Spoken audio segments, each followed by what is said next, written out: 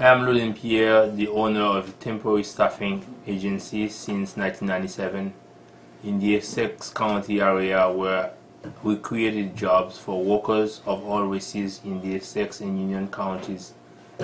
Depot, a major client, we supplied roughly 200 to 300 workers daily to Home Depot. It's only when Home Depot found out that they were dealing with a minority black Haitian owned temporary staffing agency that the relationship started to, de to deteriorate. Home Depot personally began destroying staffing or staffing agency.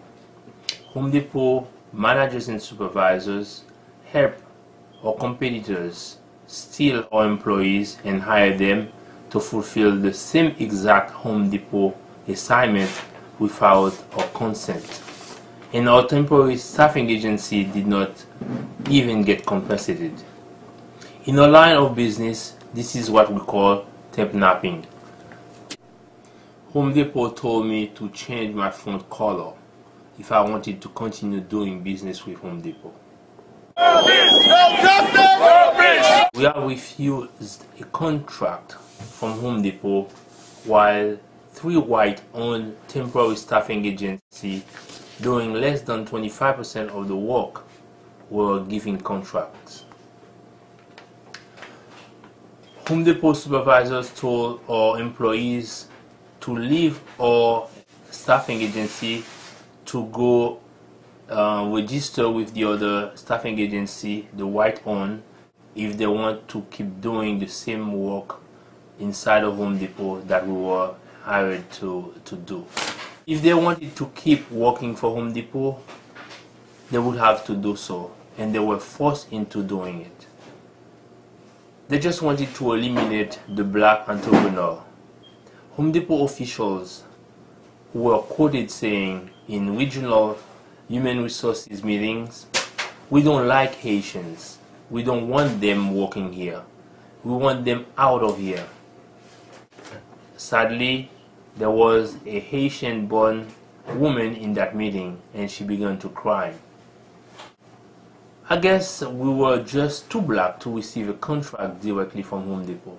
Then Home Depot managers told me and forced me into signing a contract under a pre-chosen staffing agency, threatening me, intimidating, embarrassing me in front of Home Depot workers, even humiliating me and overpowering me. Four months after signing under the other chosen temporary staffing agency, they, they sent a letter with the blessing of Home Depot stating that Home Depot is now a partner with that agency. They also distributed it inside of Home Depot letters to all our employees to join the that that other staffing agency.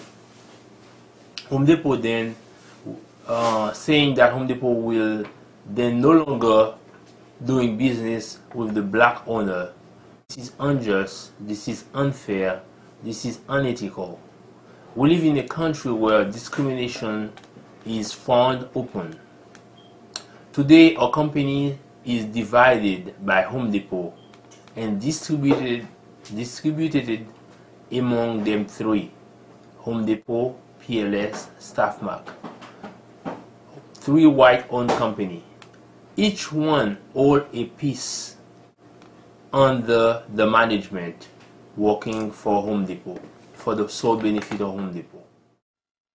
It is sad and even shameful that a company so big and so large like Home Depot would reduce itself to such a low level when it discarded a staffing agency because the owner is black Haitian too often upper management does not know what the regional managers are doing out there. We are asking the CEO, Mr. Frank Blake, to look into this case and bring the necessary correction if supplier diversity, as promoted by Home Depot, is not a joke. We have decided to keep talking until justice is done. Não justice! No peace! No justice! No peace! Anti-power! Anti-power! Anti-power! Anti-power!